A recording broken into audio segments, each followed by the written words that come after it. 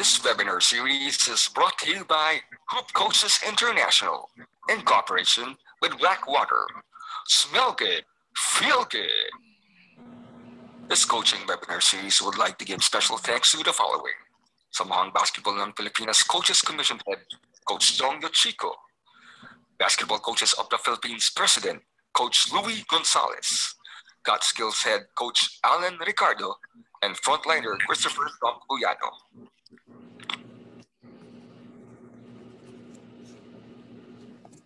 Again, good evening, uh, dear coaches, and thank you again for uh, joining us uh, this evening for another uh, webinar. Uh, this time uh, we'll have our special guest from Talk 'N Text. but before introducing Coach Mark Dickel, I'd like to say good evening also to our resident sports psychologist, Doc Teddy Villasor. Good evening, Doc. Good evening, Coach Ariel, Coach Mark, Rick. Hello, good evening. And uh, of course, our uh, broadcaster, Rick Olivares. Uh, good evening. And uh, Rick, I'll give you the honor of introducing our special guest coach. Well, to all our participants, Coach Ariel, Dr. Eddie, we've got a really special guest. It's not every day we get to have a guest who made the semifinals of the World Cup, the FIBA World Cup, where his New Zealand team finished fourth. But he's also an Olympian that's not even the coolest thing. This man played for someone who Filipino basketball fans are probably familiar with, Coach Bill Bayno. This man played for the University of Nevada, Las Vegas, running Rebels. He was a point guard who averaged double figures. His playing career spanned almost two decades before, co- before embarking on a coaching career that saw him start off with Albania, and now he's here in the Philippines, also with Ateneo. The man I'm talking about is none other than Coach Mark Dickel. Welcome. Good evening, Coach. Welcome. Thank you for the introduction, man. It's good to be here.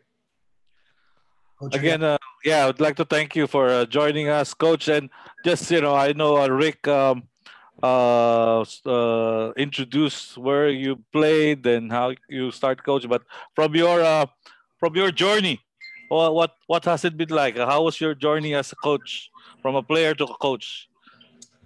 Well, well, look, look. I think for me, it started really, really early. Um, obviously, my father was a coach, so I kind of grew up around the game.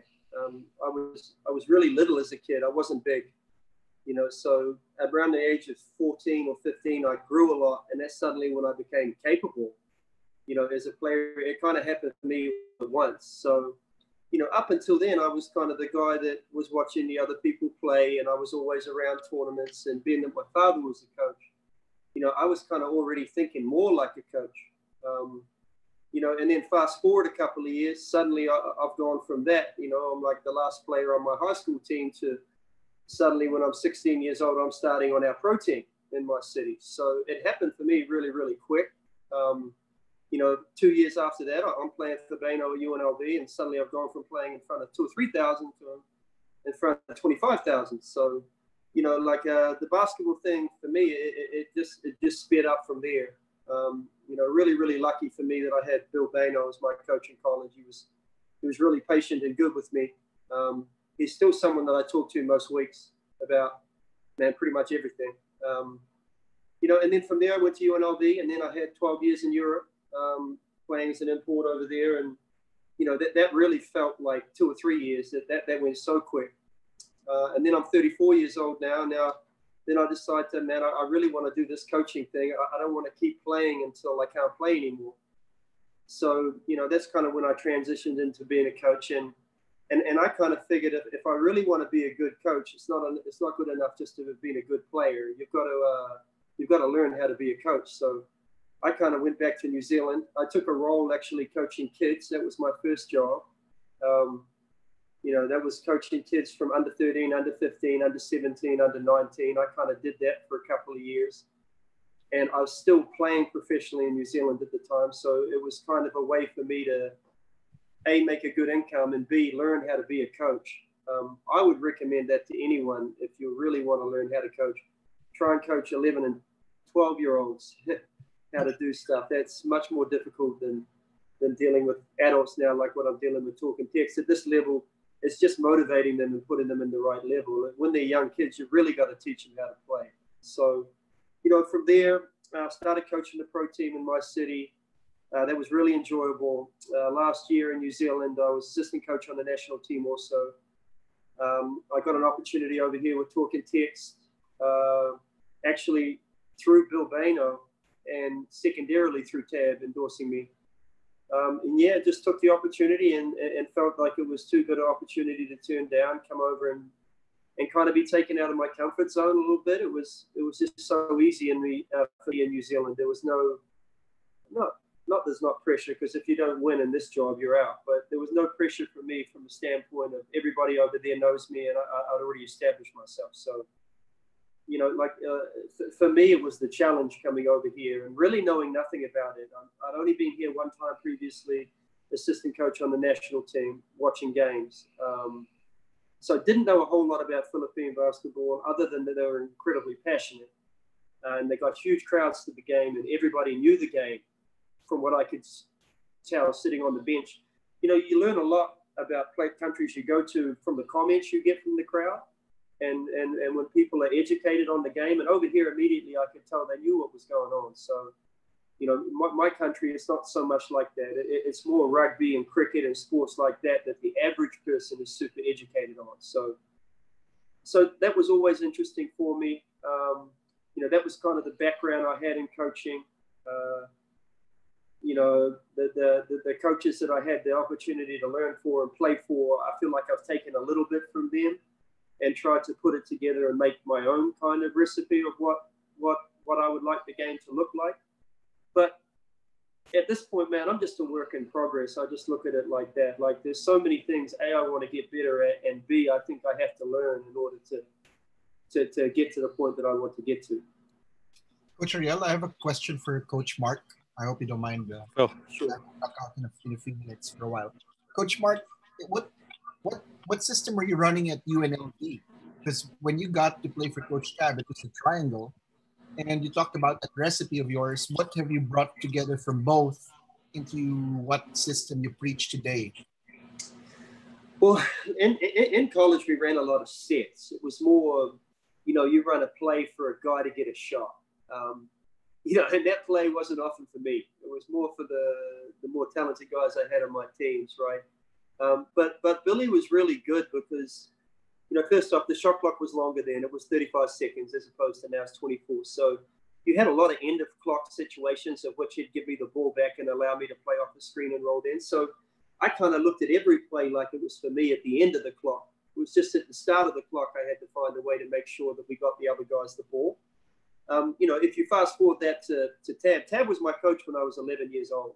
Um, uh, and he's coached. He coached me all the way through to when he left the national team when I was 29. So I've been on and off with Tab for the longest. And from from the very first time that I worked out with Tab, he was all about trying to teach people how to play. I mean, that's why I have such a huge respect for him because, yeah, he's a disciplinarian and yeah, he he wants things done his way. But man, he's really trying to teach you how to play. So you know, for the coaches out there, when you see Ateneo play, it's not a byproduct of all the practice that they're doing. All the teams practice.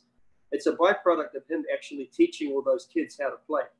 And, you know, that's why he has such success on all of his teams. And the first time he saw me play, he actually thought I was left handed and told me that I should play off more with my right hand. It, it was because my father had told me I wasn't allowed to do any moves anymore with my right hand. So, Tab always thinks like that. He's always trying to make people out there work on what they see as their weaknesses. And, and he figures if you do that, then over time, you're going to end up being a really, really good player and your team will do well. Coach, Coach Ariel. Teddy? Man, I, am happy to keep going. You, you, you want me to go on the, some of the similarities, some of the differences I see from here for around the world? Sure, go ahead. All right, so so so just observations. Obviously, I've been here almost two years now, and we should have played six conferences, but I've only got a chance to play three. Right, so I've, I've had a lot of opportunity to look. You know, I've gone to every PBA game that we didn't play in that I could. I've watched every game on TV. I watch all the UAAP games. Um, obviously, I try and help know being the tabs involved with Ateneo and give him my thoughts, and he does much the same at, at Talk 'N Text. So I, I, feel like I've got a relatively good idea uh, at, at, the high level over here of how the game is played. Um, you know, the, the, the things that I think make Filipinos unique don't necessarily transfer over onto the court. Um, you know, like speed, agility, quickness, shooting, passion, uh, toughness, not being scared. Um, all of these are great traits to have. These are traits that around the world, uh, if you focus on the right things in the game, man, they're going to make you incredibly tough to beat. You look at a lot of college teams, they're all undersized. You know, there's no player who's over six five or six six. In Europe, the same. They play a lot of teams that are undersized, but they can beat teams with size because they play to their strengths. You know, from what I see, a lot of teams over here don't don't necessarily do that. They're, they're, they're trying to play a style that is not conducive to that. Like the NBA to me is by far the best basketball in the world because all the best players play there. That's why they play that style. That's the reason they play like that because the simpler you make it, the easier it is for great players to play. Um, whereas around the world, there's got to be some more continuity to the game. There's got to be some more misdirection or um, depth layers to your system in, in order to make it difficult for the uh, for the defense to be able to guard you, or vice versa. Um, and you know, like if you equate it to the UAAP, man, there's four or five teams that are as talented as Ateneo. Um, you know, and yet Ateneo seems to find a way to make it really difficult for every other team, A, to run their stuff, and B, they get better shots than the other teams get. So um, that's what I've noticed in the UAAP. I've really noticed that that there's so many good teams and they're all well coached. It's just maybe they're not playing directly to what their skill set or their talent is on their teams. Whereas, you know, Ateneo does that. Um, you know, when, when I first came to uh, Talk 'N Text, I can remember Billy telling me, he was like, uh, you're, you're, taking a job there that no one else wants. Uh, there's a lot of pressure on that job. Um, you know, like if you had bad results in that job, you're not going to be there for too long. Mm-hmm. Um, you know, that, that, that to me let me know right away that there's an expectation is in this job at Talk 'N Text to win, that people here are expecting results. And to me, that's how it should be, right? And then I looked at the roster we had and the players we had, and, and we had talented players all over the court. So, you know, it just didn't really add up that our team was struggling like that. Um, and then I looked at the other teams in the PBA and I was like, okay, Junmar, I knew Junmar from the national team. I know he's a problem. There's no other bigs over here other than Slaughter. Uh, okay, when I came here, it was right at the end of a 6-5 conference. So all of the PBA teams got 6-5 import players in that played as big men. Okay, that, that, that kind of makes sense because there's a lack of size here. Um, all right, how do the other teams play? Hmm, a lot of the other teams are trying to play like how San Miguel play. Well, that's not going to work because there's only one Junmar. Um, so that was what kind of my learning process to go through it. Like, how can I take the team that I have now, Talk 'N Text, and make them unique and not necessarily worry about how we beat San Miguel because we were losing to everybody before that too. It was more how do we make it so that every team in the PBA struggles to match up with us, right? So you know, that's the process that I went through straight away was that, okay, we've got a lot of talented players. How do they fit? Do they fit? Do they want to play together? Is there any chemistry together? Uh, all the other PBA teams are really talented also. They've got a lot of really good players on their team. Um, San Miguel seemed to have the deepest roster, as in the most capable, say, one through seven. Everyone else is pretty close, though you know, the talent spread around the, the teams is pretty good. So why is San Miguel winning all the time? It's not just Junmar. What are they doing well? You know, uh, what did Ginebra do well in certain conferences? How are they able to play really well when Brownlee's there? Okay, what do they do differently when he's not there? That that was my process that I went through as soon as I came, because each conference is so different. You know, hopefully we're about to play an all Filipino conference, which to me is the realest conference because that's without anyone covering anybody's holes on the team, right? So, you know, that, that that's an exciting process. You know, obviously not having Junmar or San Miguel makes it more wide open. However, and they got Mo in there now too. So that's not like that's a big drop off. So I still see them as one of the top teams, if not the top team. So, you know, the, the, the league is very even. The parity is very even. In the eliminations, anybody can lose to anybody. Um, in the playoffs, you know, all the teams are tough. They're all well coached. Everybody's scouts. Um, there's no easy games. Man, it's, it's just a really good competition. Um, really, really excited you know, as soon as I came here to be in a be in a country that plays basketball all year round, always an interesting prospect because usually you have seven, eight months on, four, five months off. So, you know, that that, that was really interesting to me because, you know, how do you handle that injuries, you know, wear and tear, how much do you practice? You know, just a lot of learning went into that the whole first three or four months. Yes, coach. Uh, there's a question from Emerito. Um, after a year staying, how's your perception? Are is Philippine basketball improving or getting worse? Oh, the Philippine basketball is improving a whole lot. Just since I've been here, it's improved a lot.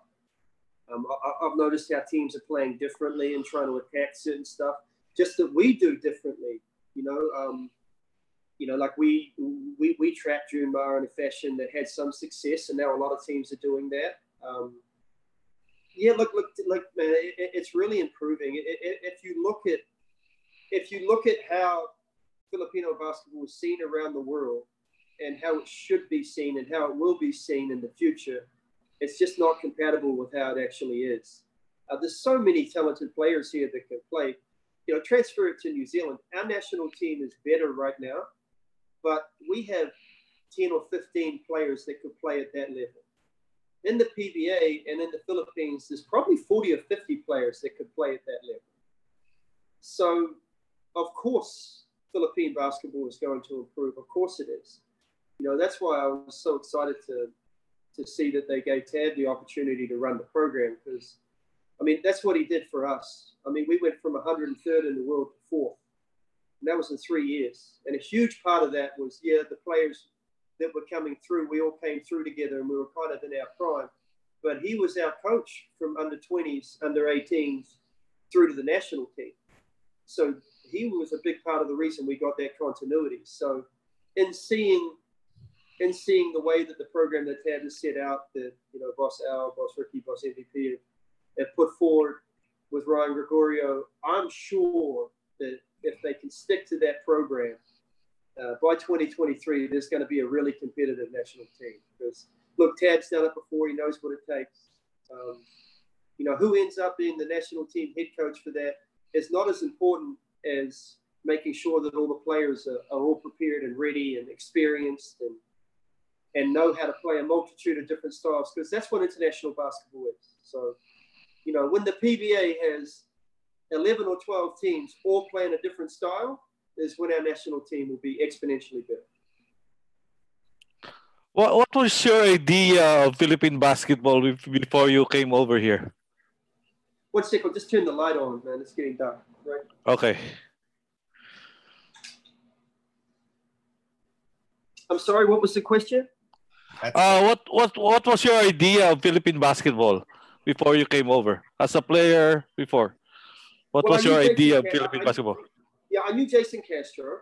Obviously, I knew Terrence Romeo. Uh, I knew Junmar. I knew Troy. Like they just through scout stuff. Uh, my opinion mm-hmm. of it. It just seemed like, like against us, for example, New Zealand, we want to play a disciplined style. Okay. Mm-hmm we want to try and make it so that it's very, very difficult for the other teams to match up with what we do. And on defense, don't make any errors, right? So there has to be adjustments made to how we were trying to play. Now, now for the talent that you guys have on your team is far greater than the talent outside of our top two or three players we have on the New Zealand national team. Uh, way better. One through ten, your guys, your guys' team is much better. So, how do you speed that game up? How do you make the game quicker? How do you make it take the ball out of our better players' hands and put it in the other guy's hands? They were the questions that we were asking before the game and preparing for what was going to happen when we played your national team. So, my opinion was kind of that. Like, wow, man, there's so many talented players on their team. We'd love a couple of their players they're not even playing to be on our New Zealand national team. So we, I knew there was crazy talent here. That wasn't the issue. It's just how do you play a style that allows all those players to produce and play really well? You know, that was the questions I had when I came here. And and then seeing a PBA game, I was like, wow, there's a lot of really good players underneath those players too. So there's no reason the national team here is not really good and with a whole lot of depth. Okay, uh, Dr. Eddie, there's more questions from Clarence. Um, Coach, we have a question from Clarence. Um, Sure. what makes Coach Tab a great and a unique coach? What is his philosophy? What are the qualities that you would want to follow from Coach Tab? Well, just to adapt, right? Like, you know, like, like, like, look, man, Tab's good. He's smart, and and and and he he doesn't beat himself. Uh, he's prepared. His teams are ready. Gets on great with the guys. But man, he adapts. He completely changes from one thing to the next.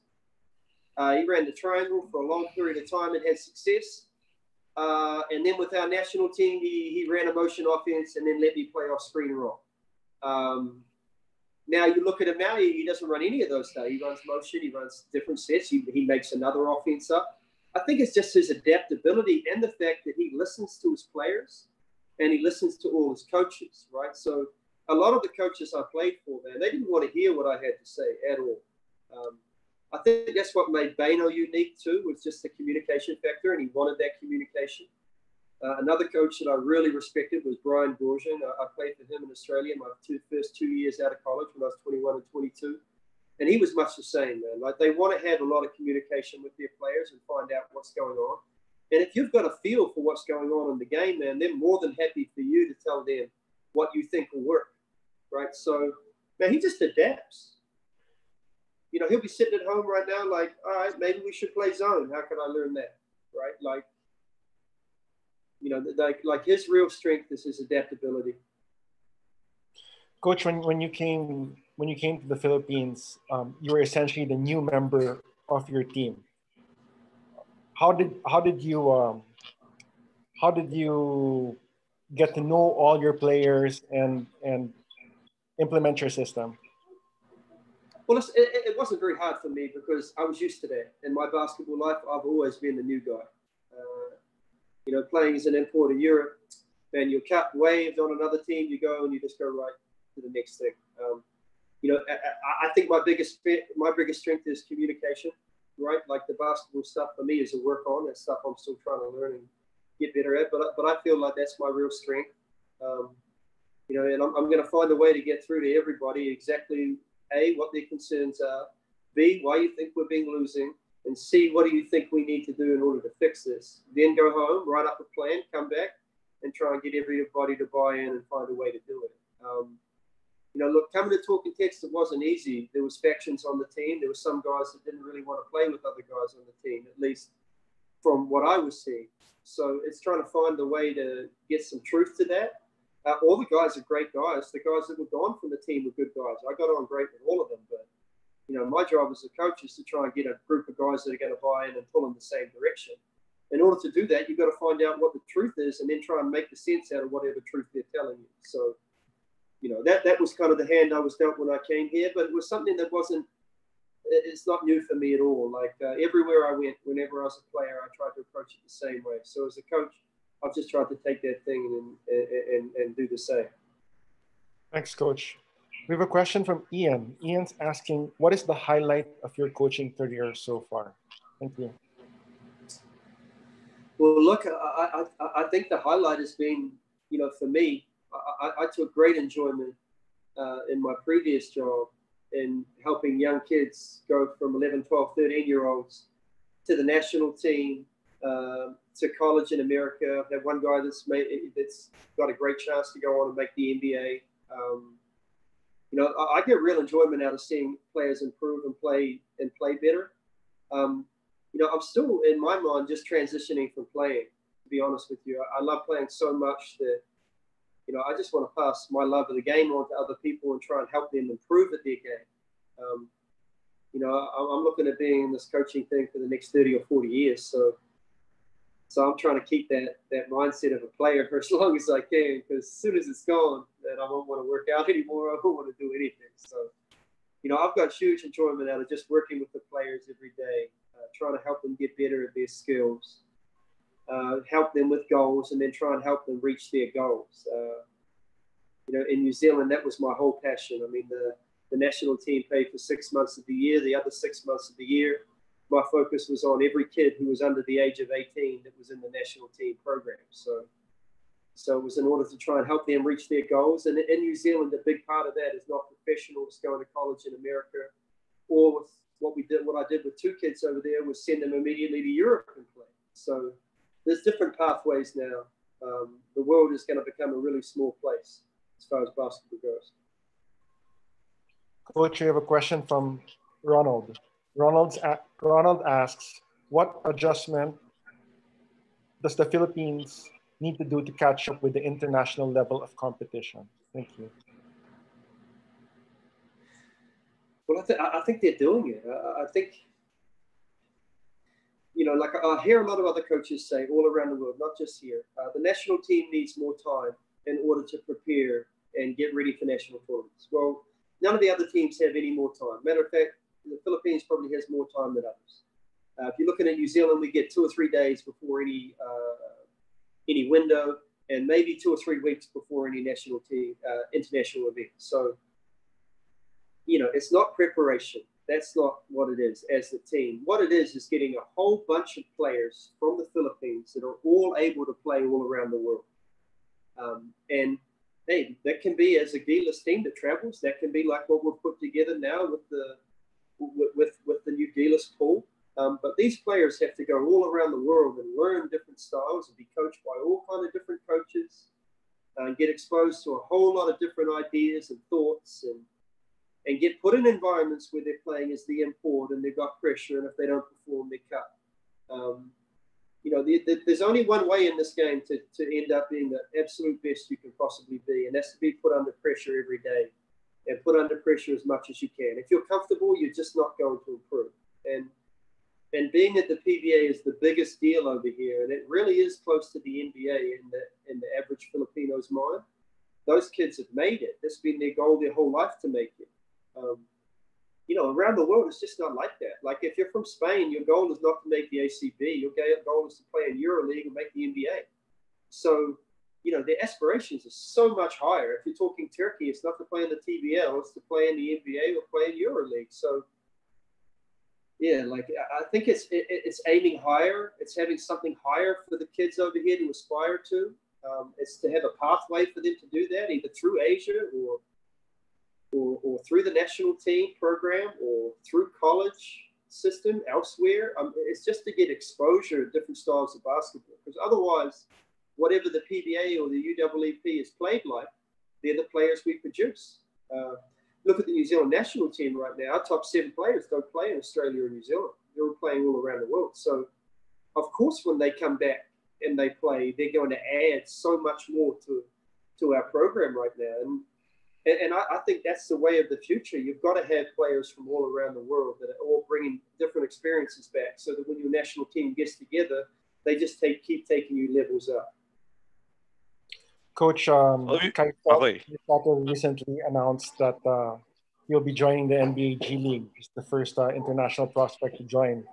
Uh, Ian's asking, um, what are your thoughts on Kai Sotto's decision? Thank you. Well, look, I think he's improved a lot in the last year. You know, just from oh, I watch all the stuff on Kai. First off, great kid, awesome family, Ervin, wife, awesome. Uh, got to spend a little bit of time with him just because I live right across the road from Ateneo, and I'd see a lot of his practices. Look, I, I think he's a super talent. Um, you know, it's just hard to know what the right way to go is. Um, you're seven foot two, and your best attribute is you're a great passer. Uh, that can work, you know, especially if you can shoot the ball, of which he's shown the ability to be able to shoot the ball. But the game's changing all the time.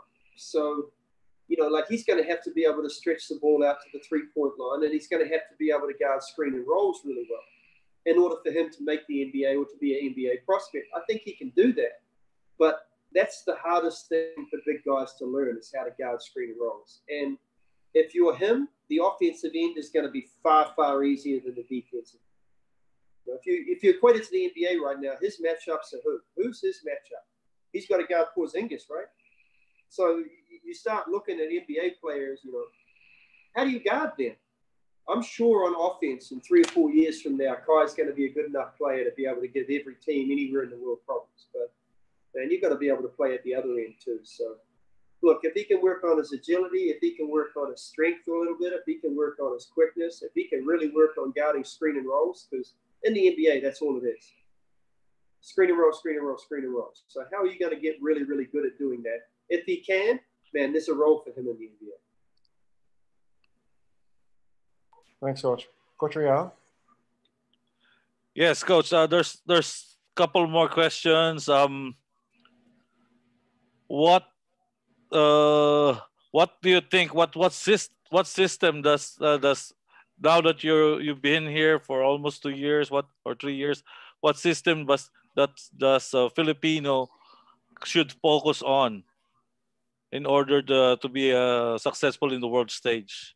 See, I, I don't think it's a system. I, I think it's just skill sets, right? Like shooting is a huge prerequisite, but dribbling as little as possible and getting good shots it distorts the defense more and makes it so much harder to guard. So how can you dribble the ball less but get off more good shots, right? So being better off the catch, being better moving without the ball, uh, being a better screener, being a better passer, uh, being a better cutter. Uh, all things that right now, if you look at the, the, the best Filipino players, they're best when the ball is in their hands. Let's take Jayson Castro. He is incredibly difficult to guard, A, off the dribble or B, off the screen and roll. And that's his strength because over here, that's how everybody plays, right? Well, we've been working, I've been working with Jayson a whole lot on off the ball. What do you do when you don't have the ball? Where do you stand? Uh, how do you play off screens? Use screens, set your player up, occupy your player. Uh, I think it's more those things. You know, they're, they're all things that Tab worked on us with from the time we were 11, 12, and 13 years old so by the time that you come to the national team now, if I have the ball in my hands or I don't, I still know where to go and what to do.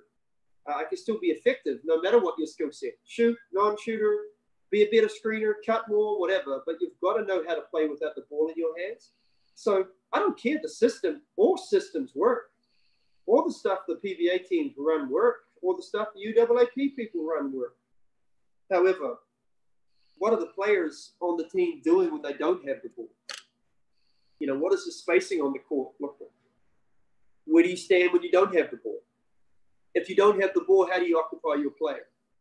Uh, I think it's skill sets. It's not what they run. It's not a system. It's completely how you teach the players how to play an international style of play. Okay, thank you, Coach. Um, from uh, Ar- Arwin Villamor Adina, if you've been given the head coaching job for Gilas and not on an interim basis, uh, you think you honestly believe that uh, we can beat the Aussie team and other contenders like Japan, China, and New Zealand in Asia in FIBA Asiana, or do you think uh, how, what what what will it take to beat them, the top teams in the region? Well, the first answer is yes, completely, 100%. Uh, we've got good enough players here. Uh, we've got a really good coaching staff. Hey, Tab's done it before. Uh, whether he's the head coach or the coach behind the scenes helping everybody, uh, he, he, he knows what it takes. Um, I played I played 190 games for my national team. I played professionally since I was 16 years old. I can't tell you how many times I played in a game where the other team was 10 times better than we were on paper and we win the game by 15 or 20 points because playing harder matters, playing smarter matters, playing tougher matters. You can do those three things and out hustle everybody and give everybody a really hard game. And you've got to hit shots. So, yeah, we can beat all those teams, but we've got to play harder, smarter, and more together, and we've got to make shots. Thank you. Um, Doc Teddy, there's more? Yes, Coach. Oh, uh, uh, Coach Mark, Yeah. Uh, we have a question here. Um, in your in your span of time here as as a coach, what uh, who were the local players who have impressed you the most?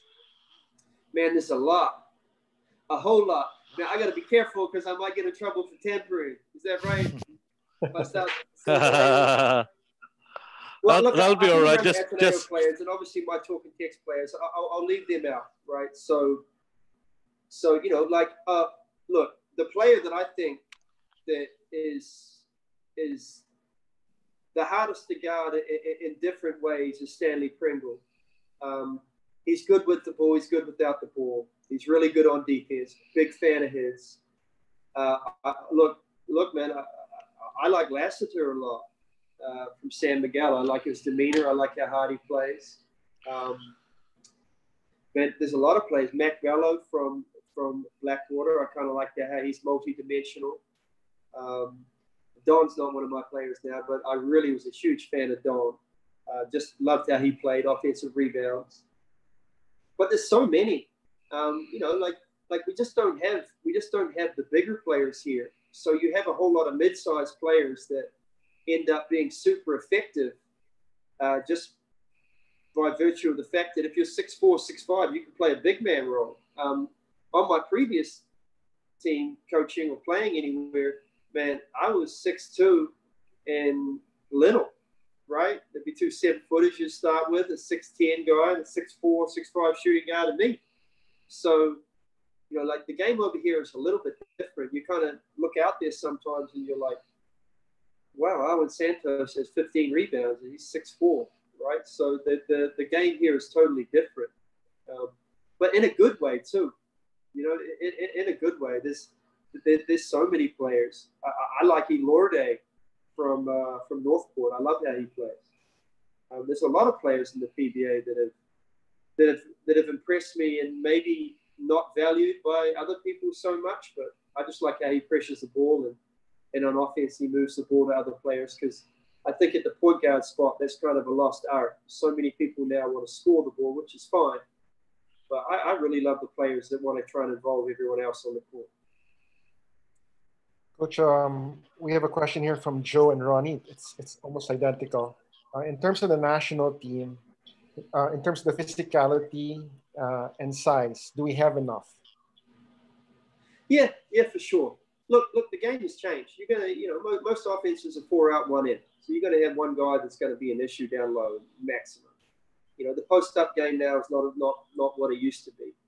Um, you know, like Poy Erram and players like that, they can definitely hold that down. They're just gonna be able to guard screen and rolls and, and be able to stick to rules and defensive rebounds. So, look, we've, we've got more than enough uh, size, big guys. Um, I, I'm sure whoever the naturalized player that that uh, that SBP decides to get will be a bigger player, and that'll be someone that can help anchor the middle. And and we've got enough at every other spot. And and keeping in mind that internationally, Junmar is really really good. Uh, he's more than capable of, of being an anchor down there, especially for 15, 20 minutes a game. Who are you eyeing, coach? Uh, just just uh, from from uh, on top of your head, who are you eyeing as our next naturalized guy? Well, that, that that's not me. You'd have to ask Tab that, or Ryan, or or Boss Al, or any of them. I, I'm I'm I'm just the hired hand in this particular decision. Um, I, I'm sure whoever it is will be a proven international player and a really, really, really good player. So I don't have any names. I haven't even spoken to Tab about it. Uh, you know, kind of since since since the since the virus hit, it's been more like uh, Tab's telling me a video to watch. He's not telling me uh, planning for the future because when is the future coming, right? It's like everything's on hold. Mhm. Among the PBA coaches, who have you had the hard time the most? It's from uh, Coach Dindo Patricio.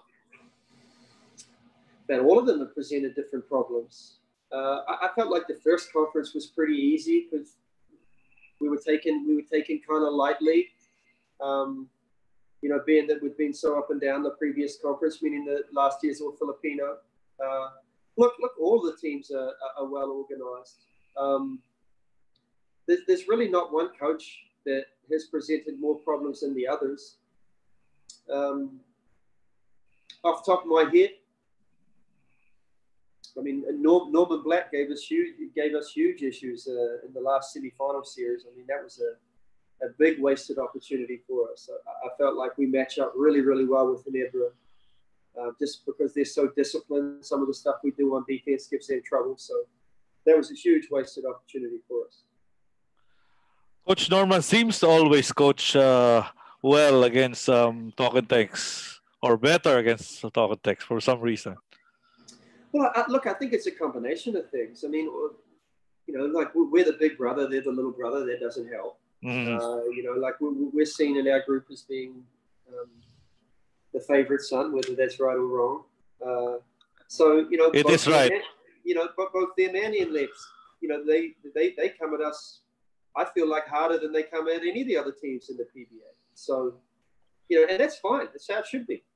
But at the same time, man, their players are super motivated now, motivated for a myriad of reasons to prove that they're good enough or that they, you know, that, that they're trying to prove a point. Um, and they seem to play better and harder against us. So, you know, for us, that's a that, that, that's something that we've tried to address and we've talked about. But at the same time, man, like they did a good job last conference and in the playoffs, they beat us. So, you know, we've got to find a way to come back whenever the next conference is and try and do that back to them. Coach, I don't, um, you know, I don't know if you've watched that um, uh, webinar we did with Coach Chot Reyes or you've read it on paper that he came out that uh, uh, he thinks that the, the, the Gilas program uh, would be better off with a Filipino coach. What's your take on this? Well, look, um, first off, I did see his webinar. It was really good too, by the way. And first off, uh, huge respect for Chot. He's been really nice to me since I've been here. Obviously, you know, I love Chot's son. He's helped me so much. Really good young coach. Um, yeah, like like like I saw his comments. That that that that didn't strike me one way or the other. Um, you know, it's probably a good conversation to have at some point. But to me, it should be more about you know, like who, who, who is the most qualified for the job? Um, surely you want to have the most qualified person for that, whoever that is. Now, if that's somebody from here or somebody from Croatia or, or France or Australia or wherever, then surely that person should be the best applicant for the job. I, I don't think it, it, necessarily matters where that person is from. Um, you know, coaching all around the world now, I mean, whoever that coach is, if it's me or somebody else, I'm sure is going to be able to relate to the players and – motivate the players and get them to play how they want them to play. So I don't see that as being such a big issue, but I do respect where he's coming from. Thank you, Coach. Um, Teddy? Coach, uh, we have a question here from Coach Emerito. He asks, what are the differences in player temperaments, such as ability to pick up uh, concepts, dealing with losing, mental sharpness in pressure situations and so on in New Zealand as compared to the players here in the Philippines? Thank you. Well, well, New Zealand might be a, that, that, that might be a bad example, and, and let me explain to you why. Because we have a good 15 players. Under that, we have a whole lot of developing players that maybe one day could play on the national team. I think it, it, a better a perspective is compared to somewhere like Europe. Okay, Turkey, I played five years there. So if you compare it to Turkey, they have a first, second, and third division. Uh, the teams in third division are, are, good. They can compete with the teams in second and first division. Um, we're talking a depth of maybe three or four thousand players over there that are all capable and good.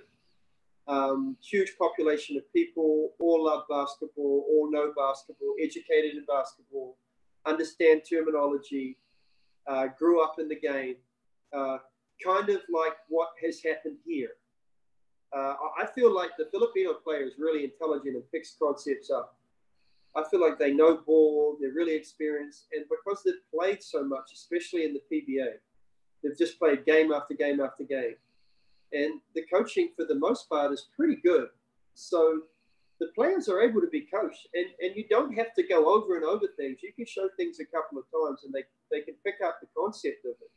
Now, the the habit part of it or how to get them to that be a habit is something that is difficult over here because maybe players get more comfortable and realize that they're kind of in a situation where uh, from the PBA, where do I go next? I'll just hold on to my job here in the PBA and make sure that the people behind me can't come and take my job. So maybe the competition factor is not the same here for jobs as to what it is in Turkey or Greece or Russia or other countries I played in. And I, I think that's a part of it. But the education and the intelligence of the player here is, man, they're smart. They pick stuff up. That's not the issue. The issue is, will they do the things that you're trying to get them to do? Right?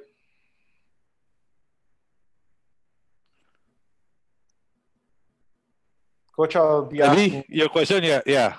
I'll be asking my uh, my question. Um, uh, with your many years of uh, playing and, and coaching all around the world, uh, could you kindly give us five qualities that a basketball coach should possess in order to be successful? Thank you. Sure. Well, the first thing, and most importantly, is to be a teacher of the game. You know, that is the most important thing. So if you wanted to know what the most important quality of being a good coach that I've seen other coaches be really, really good at is their teacher first. So they don't want or think that the players are just going to pick up stuff or they should know it. Uh, anything they don't know, that's a teaching moment. So, you know, the better coaches I had were constantly pushing me and trying to help me and then teaching me the right way to do stuff. You know, the second thing is to be really organized, right? So you got a practice plan. You got to have a plan for this month. You got to have a plan for this conference. You got to have a plan for the next conference. You got to have a plan for the whole 12 months. You got to have a plan for each player. In a year, he should be here. Uh, these are the things we worked on, and then another plan for the next year. You've got to constantly be organized. You've got to know the teams you're playing against, what the coaches try and do, what the players try and do. You want to have a complete plan so that when you look back at that previous day, week, month, year, you're able to say, okay, we did everything we could possibly do to be organized to do well. You know, the third thing is you've got to be a really good communicator.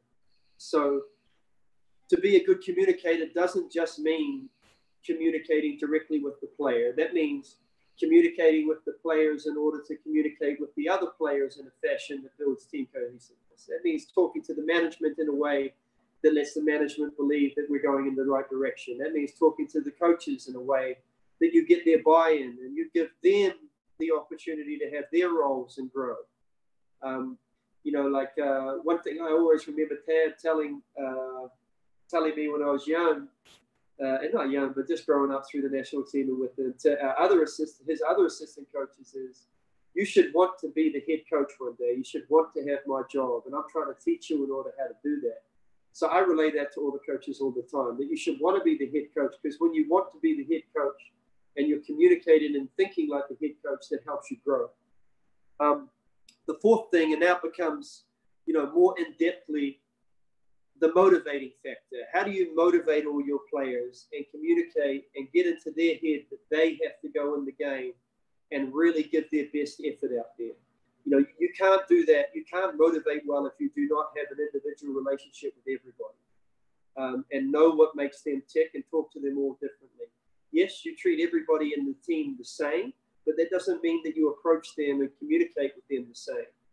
Um, you've got to find a way to motivate everybody because some people aren't motivated by money, some people are. Some people are motivated because they want, don't want to let anybody in their team down. Some people are motivated because they want to win desperately you know, it's finding out what motivates everybody in your team and then being able to pull that pull that button and push that each time you need to. And then the fifth part to me is how do you deal with pressure? How do you deal with the games? Uh, what do you like in the games? What is your demeanor in the games? You know, how do you handle your referee interaction? Uh, how do you handle timeouts? Uh, do you have plays up your sleeve? Do you understand and make adjustments to what the other coach is making? Um, you know, they're the five things to me that I've seen that great coaches are able to take all five of those parts, individually become really good at them, and then pull them all in, uh, together in order to be a really good and successful coach.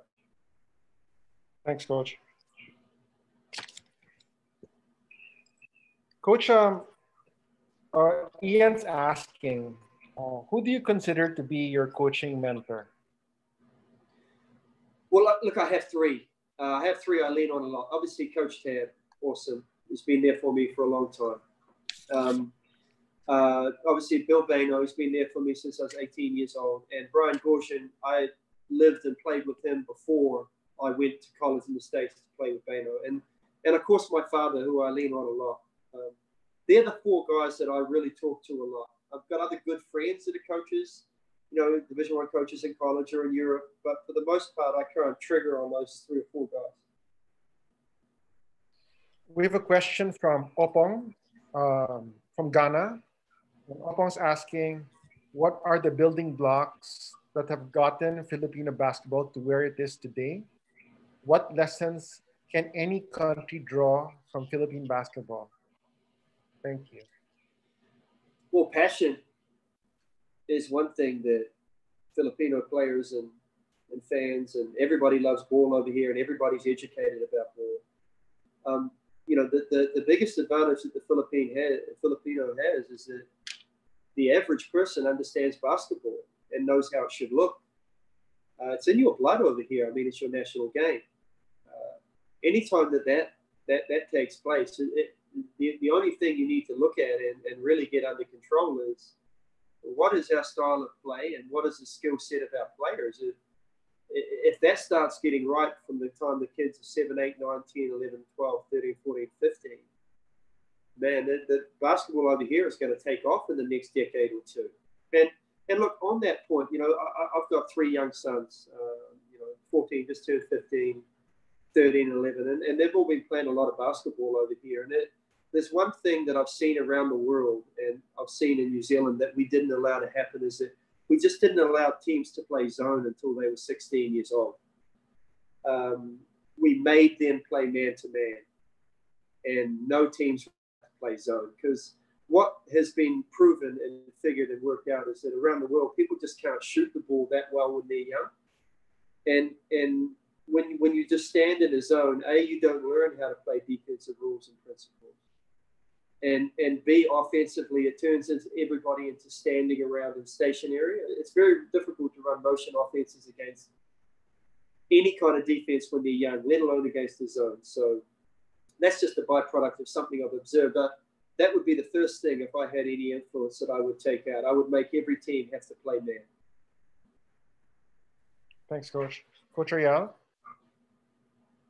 That's an excellent point, uh, Coach uh, yeah, uh, again, coach would like to thank you, and hopefully, um, you know, there'll be more basketball for us this year, or or uh, coming coming soon, hopefully. Um, just just um, I'd like you to address, uh, of course, uh, the PBA fans and Talk 'N Text fans. Uh, just uh, what uh, what have been uh, what what has the team been doing, or and uh, some parting words from you. Sure. Well, firstly, obviously, we're, we're all hoping that there's PBA games to be played or basketball. Uh, look, it's difficult for everybody, and and I know for the players at Talk 'N Text, it's been really difficult for them, and I'm sure all the other players, not only in the Philippines but all around the world. Um, you know, we, we've tried to stay in contact with them as much as we can and make sure that they're doing their workouts and mentally staying strong. But look, you know the whole social media and and not being directly in front of people it's difficult to know exactly what's going on so you know i hope sooner rather than later there's there's a break so that at least people can get out and and physically look at everyone in the eye again and and, and, and see how people are doing and and and hopefully in a in a month or two be able to get out and start practicing again and and hopefully get ready for another conference but look, there's bigger issues in basketball right now. There's a lot of people that are getting sick and yeah. and, and, and not doing well. So you know we're, we're, going to be relying on science and hoping and hoping that uh, that they work out a way in order to make it so that we can play again.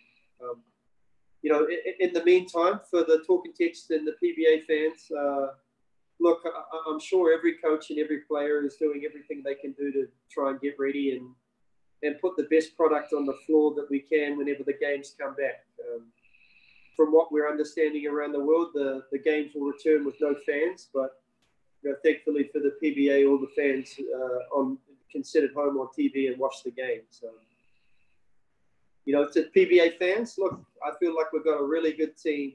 Uh, I felt like we've been building for this conference coming up. Obviously, with the addition of Poy Erram, and that kind of puts us in a position now with with him and Kelly Williams. We've got we've got two really good frontline guys that I feel like can really anchor our defense and and be unselfish on offense. So look, I was super excited for this coming conference whenever it comes. And look, if it doesn't come, whenever this next conference comes, I'm sure we'll be ready. So, you know, like uh, Ariel, thank you, thank you for the opportunity to come on and talk. Um, I've really enjoyed, you know, logging in and, and, and, looking and hearing what the other coaches have to say. Um, you know, A, it fills in a couple of hours, and B, it's always interesting to hear what other coaches said, just like I was telling you before. So thank you for that. And look, I hope everybody out there is safe and well.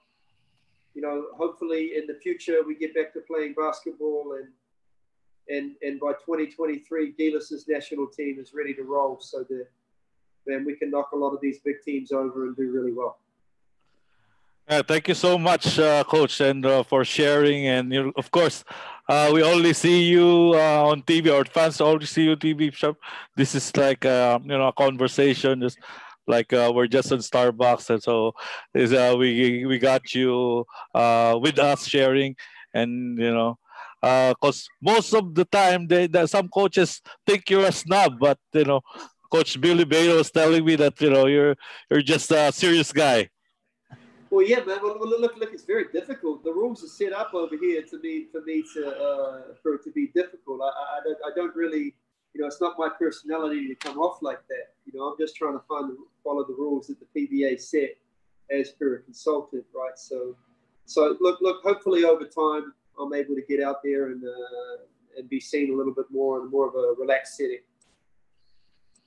Cool, cool, coach. And you know, uh, Bill's been, uh, you know, um, uh, only have uh, great words uh, for you as a person and as a coach, and uh, hopefully uh, we um, will be able to see more of you, and uh, hopefully you bring uh, success not only to Talk 'N Text but also to our national national team.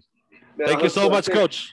Yeah, thank you, man. And uh, Dr. Eddie, thank you. And uh, to our uh, to our attendees, uh, we have another session at uh, 8 p.m. with uh, Coach Jeffrey Cariaso.